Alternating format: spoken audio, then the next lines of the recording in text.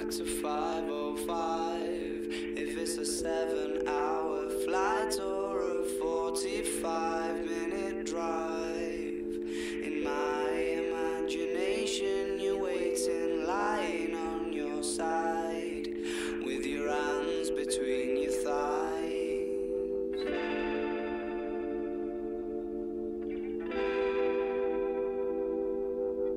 Stop.